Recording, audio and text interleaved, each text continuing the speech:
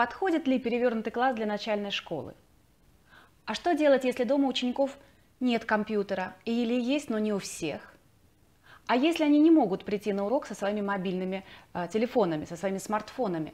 Смогу ли я в этом случае перевернуть свой класс? А урок математики поддается перевороту или нет? Ведь у нас будет государственный экзамен. А, математику перевернуть можно, но литературу точно не получится. Это совсем другой мир. Вот эти и много других вопросов относительно перевернутого класса я слышу и на своих выступлениях, а, где-то на конференциях или на мастер-классах, научных встречах с учителями, и также мне их задают на моей странице в Фейсбуке. А о чем говорят эти вопросы? Они говорят, коллеги, зачастую о том, что смысл перевернутого класса нам непонятен. Поэтому прежде чем в этом видео я перейду к определению сценария урока под названием «Перевернутый класс», прежде чем я объясню, в чем же он заключается, что это такое, я бы хотела донести его смысл. Это очень важно, потому что если мы не понимаем, э, что мы переворачиваем, ради чего мы переворачиваем, зачем мы переворачиваем, э, то все остальное это будет механическая работа. Вот э, он, он и будет по-прежнему у нас вызывать вот все те вопросы, которые я перечислила э, в, видео, в начале видео. Итак, э, начну, я, начну я с нескольких примеров. С нескольких примеров э, своих собственных, личных, так сказать, э, с домашней работы, которую получает мой ребенок. Итак, второй класс. Второй класс она приходит домой э, с домашним заданием составить ментальную карту по э, какой-то теме или концептуальную карту. Какое понятие вам ближе? На эстонском языке это звучало как карта понятий, если дословно перевести. Вот нужно было составить такую карту. Что делали на уроке? На уроке учитель показывал презентацию, показывал видео по этой теме. Они читали текст, а на дом нужно было составить ментальную карту. Это был первый пример. Второй пример. Второй пример. А, шестой класс, недавно, она же, приходит домой с домашним заданием по литературе. А, кстати, тот предмет, какой был тот предмет, это было, сейчас а, скажу, лодус юпатус, это был природоведение. Это было природоведение, вот первый пример. Второй пример. Второй пример, урок литературы. Домашнее задание – проанализировать текст. Что делали на уроке? Читали этот текст, учитель рассказывал новую тему какую-то, возможно, что-то показывал.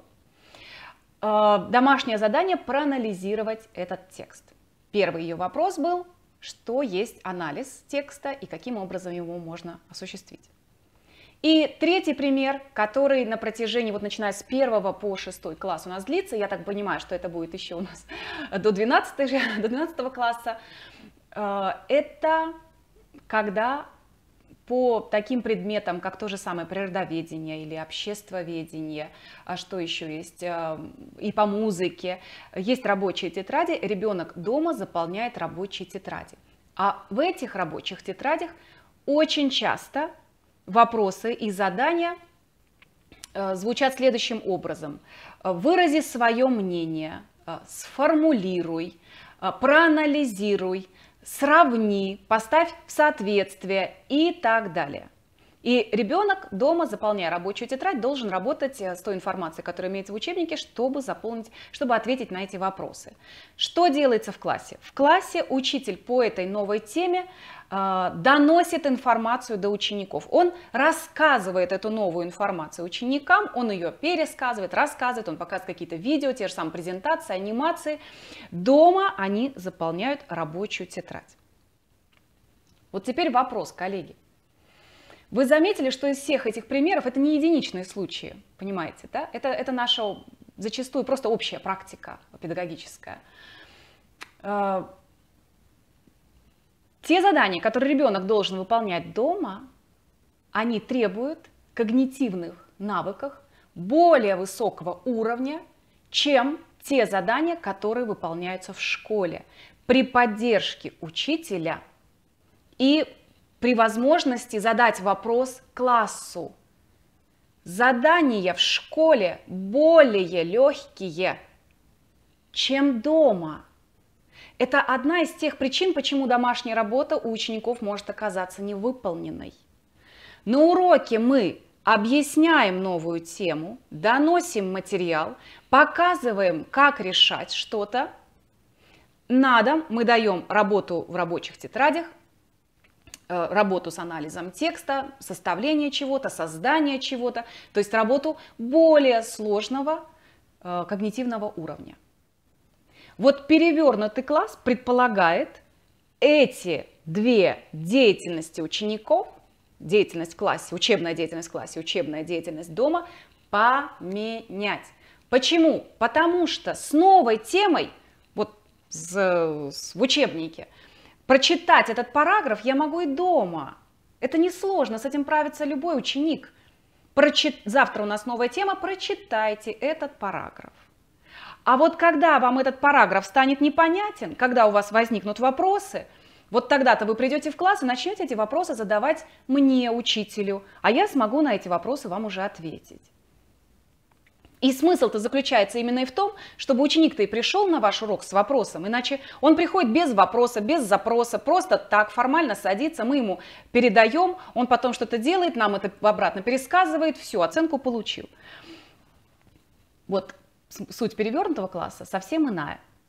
Посмотреть видео с учебным материалом, допустим, если это касается э, там, решения э, задач по математике, какая-то новая тема, или по физике, или по химии. Посмотреть это 7-минутное видео я могу и дома. Я его посмотрел, а затем, когда я прихожу в класс, я в классе уже должен эту информацию применить для чего-то, и вот теперь мы подходим с вами к самому главному. К самому главному. Основной фокус, коллеги, при перевернутом классе идет на деятельность в классе. Очень часто, когда я говорю про перевернутый класс, про вот этот вот сценарий перевернутого класса, а, мы зацикливаемся на домашнем задании. Ах, у них дома нет компьютера, ах, они видео не посмотрят, ой, они не сделают, и не, под... и, и не пройдет у нас этот перевернутый класс, потому что они не сделают домашнюю работу. Вот поменьше думайте о домашней работе, коллеги. Думайте о том, что они будут делать у вас в классе. Вот весь фокус будет уже на деятельности в классе, на учебной деятельности в классе. Это здесь ключевое. А, далее, далее. А, у меня здесь запи записаны тезисы некоторые. Вот задача школы заключается не в том, чтобы дать объем знаний, чтобы донести эту информацию до ученика. Задача школы заключается в том, чтобы научить ученика учиться. Вот не новая мысль, но не реализованная. Или ну, реализованная да, где-то вот в отдельных каких-то кружках, очишках, в отдельных школах, на отдельных уроках. Перевернутый класс, перевернутый класс позволяет эту задачу реализовать. То есть перевернутый класс учит детей учиться. Почему я называю это сценарий перевернутый класс? Я скажу честно, я встречаю и сама когда-то тоже э, применяла такие слова, и как модели, технологии. Я все понимала, что мне что-то меня не устраивает. Еще хуже, когда я слышу, что это метод. Я не знаю, почему-то мне совсем становится нехорошо, когда я слышу это метод, потому что метод, он что-то такое подразумевает, знаете, манипулятивно немножко что-то, не могу сказать, что мне прям это совсем лежит. Мне нравится сценарий. И относительно перевернутого класса, ровно как и относительно какого-то исследовательского обучения или игрового, я применяю слово «сценарий». Потому что мы с вами, коллеги, работаем по одному педагогическому сценарию, как правило. Он достаточно распространен, об этом в другом видео. А, сценарий перевернутого класса – это другой сценарий, это другие этапы урока, это другое построение урока. Урок, как вы знаете, при перевернутом классе, узнали теперь, он начинается еще до того, как наш ученик пришел на урок. Он уже знает, чем он будет заниматься на уроке. Поэтому ну, такие э, моменты, как может быть э, там, целеполагание, тем, они уже отваливаются сами собой, потому что ну, он уже знает, какие, какие цели. Он уже знает, что он прочитал, он, может быть, даже себя при помощи какого-то теста проверил, и он точно понял, что раз, два, три эти пункты ему непонятны. Он не понимает, почему так. Или вопрос у него возник, или у него вообще другая точка зрения, он с этим приходит на урок. Другое дело, другое дело, как я услышала недавно от своей коллеги, э, которая попробовала вот работать с ними Э, в перевернутом классе, и на дом она давала специальную онлайн-доску для того, чтобы дети фиксировали свои и вопросы, и запросы, чтобы они хотели, честно говоря, узнать на уроке, чем они сами хотели заниматься. Так вот, она поняла, что их вопросы э, ну, выходят э, ну, за границы того, что она сама знала. То есть ей пришлось Э, что-то новое читать, какие-то новые видео смотреть, что-то изучать для того, чтобы по понять, как тогда организовать их деятельность на уроке, чтобы их запрос был удовлетворен. Вот, так что с этим мы тоже можем столкнуться, безусловно. Но в этом и есть, опять-таки, смысл и цель перевернутого класса. Когда ваш ребенок приходит э, на урок, ваш ученик, с внутренним вопросом, ну, мы уже не можем говорить о низкой мотивации ученика. она у него достаточно высока в этом случае, и он будет работать для того, чтобы на этот вопрос ответить. Но сразу же хочу сказать, хотя это опять-таки это тема отдельного видео, но я сразу же здесь хочу сказать коротко. Не бывает вот этих вот волшебных преобразований ни в учениках, ни в учителях, ни в уроке, ни в учебной деятельности за одну ночь. Не бывает. Это длительный процесс. Один раз надо сделать, второй раз надо сделать, третий, четвертый и так далее. Это может занять месяцы может даже годы с каким-то классом. Правда. Поэтому это просто нужно учесть, это нужно принять и просто поменять свой стиль работы. Все. Итак, это сказала, это сказала. И в конце у меня здесь последний пункт, который я повторю еще раз, я неоднократно его здесь упомянула. Э, ключевое слово перевернутого класса – это организация – познавательной деятельности учащихся. Ваш ученик на уроке будет действовать.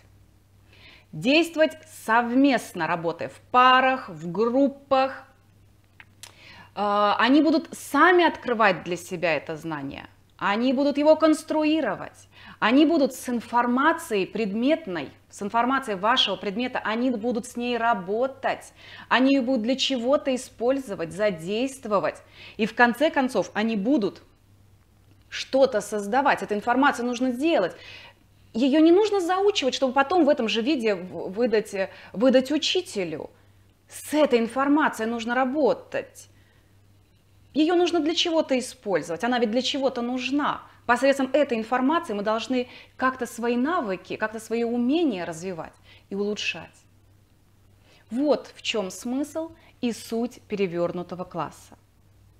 Я надеюсь, я надеюсь, что вам стало теперь понятнее, что такое перевернутый класс. Но я подозреваю, что вопросов у вас может возникать много, поэтому я буду очень рада, я даже настаиваю на этом, чтобы вы свои вопросы оставляли в комментариях под этому видео. Коллеги, чем больше вашей активности, ну это мы все это знаем, чем больше вы активны, тем больше обратной связи вы получаете. Тем больше активен наш ученик, тем больше обратной связи он получает. Э, в данном случае вы получите эту обратную связь от меня. Э, чем больше вопросов вы задаете, особенно если они какие-то часто повторяющиеся вопросы, тем больше для вас таких видео я буду снимать. Если это видео было для вас полезным, то обязательно ставьте лайк, а, задавайте вопросы смело. Я буду отвечать на ваши комментарии. Интересных вам, друзья, уроков, инновационных сценариев и удачи. Все, всего доброго!